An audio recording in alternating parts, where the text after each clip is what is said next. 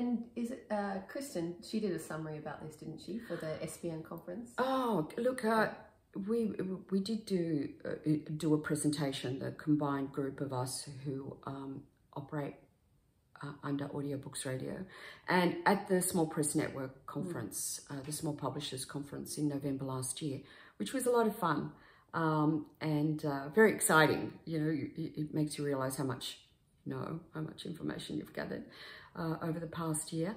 But Kristen's little segment is fantastic, and we'll put it up and put a link uh, when you receive this newsletter because it gives an overview of what the audiobook landscape is like over the last 12 months. She's an amazing researcher that master's degree. She's an incredible rounder. I am, I am astounded by her work. Yeah. And as somebody who's got qualifications from New York and um, is, uh, you know, a mum and uh, a, a, householder, a librarian, and a dramaturg. An all-round great person. An all-round great person. yeah. Like, um, very yeah. funny too. Yes, I think we. I think you need it um, in uh, in in this creative and writing world. Yeah. You know, there's a lot of drama and there's a lot of um, really uh, critical moments, and there's a lot of learning curve in our area. So to have a good sense of humour comes to you know it's pretty good. Yeah, serves um, you well.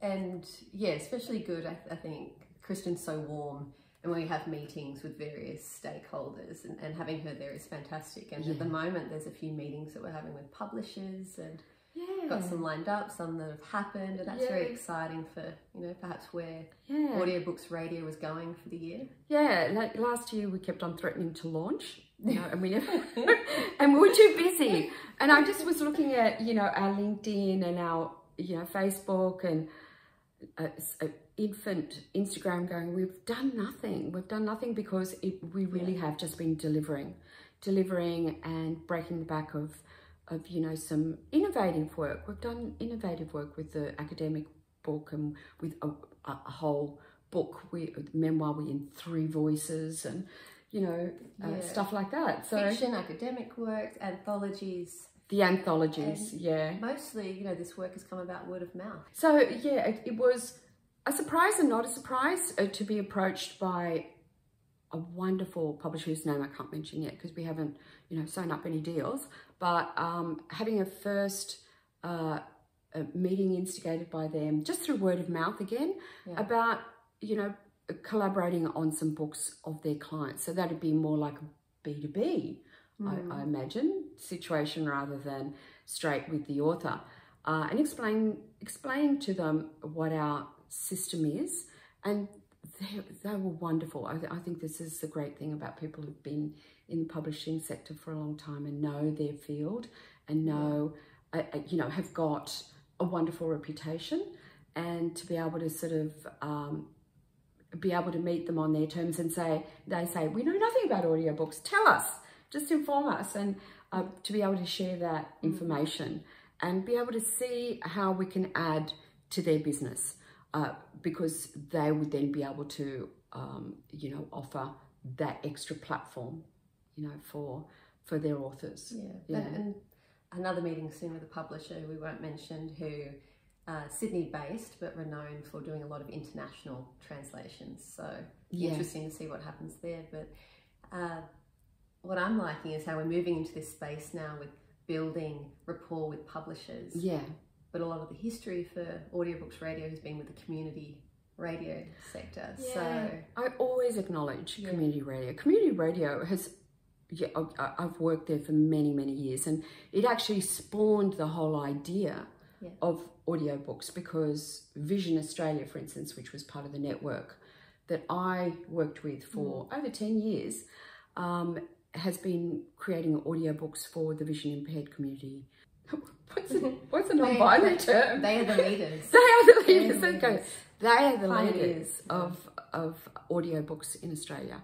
However, their library is tightly held. It's only accessible by people who are bona fide um, vision impaired.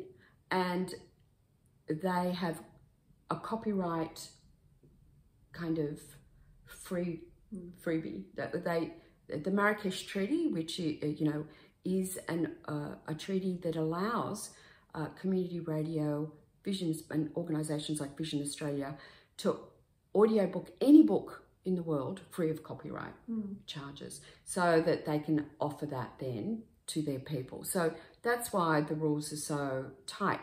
But learning from them, uh, you know, what's possible, uh, you know, in terms of um, being able to use narrators, being able to use uh, audio engineers, being able to use studios, is something that the community radio was then able to create a platform for in terms of seeding this idea of uh, an audiobook business. And we recently, mm. well, I've used uh, studios uh, certainly for the last two years while I was in community radio, and more recently, now that we're working commercially, uh, have used uh, Eastside Radio Studios, and uh, just a great experience for everyone concerned. You know, people who were volunteers within the community radio sector were able to be offered jobs, uh, you know, paid jobs, uh, which is always not always nice. And those people who have been volunteering for a long time, they're a joy to work with, you yeah. know, because they, they committed and passionate and skilled. very skilled, very talented, and just a lot of there's been a lot of support for yeah. the business. And, yeah. you know, just as you know, yeah. we support community radio. It's just a nice little synergy going on. Yeah, absolutely.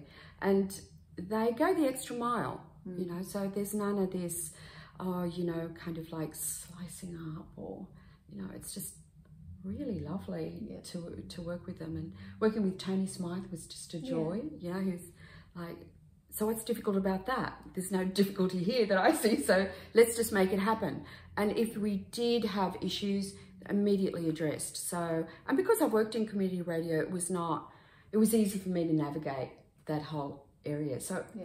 it's a it's a natural synergy. I'm hoping that we do that a lot more. Yeah, we'll, we'll, we'll do a research. We will do a reach out to community radio soon we to will. talk about one of the last stories we did for the year, which was the senior stories, volume eight. Volume eight, Senior yeah. Stories, Department of Communities and Justice, yeah. um, was finished. It was like one of those screaming, you know, sliding to last base right at the last minute. Um, and everything was done. 120 stories. Made the deadline. Made the deadline. 12 of those stories in 11 languages. Uh, 14 narrators, um, and all uploaded yeah. um, onto the website for Department of Community and Justice.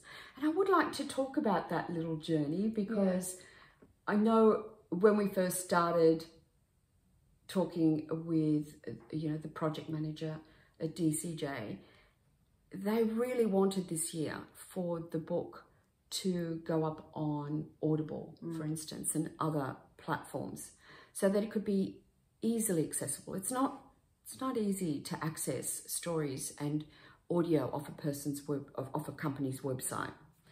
I think they were receiving just a little bit of, you know, can we make this available more widely? Um, and we came across some interesting problems, didn't we? Yeah, well, you know, when you face a bureaucracy with the rules of a very large institution like Audible, sometimes, sometimes don't marry up as well as you'd hope they will, well, even though intentions are good on both sides. well, th there was no clash. There was just a kind of dissonance of missions. Yeah. So, making it sound way more complicated than it is.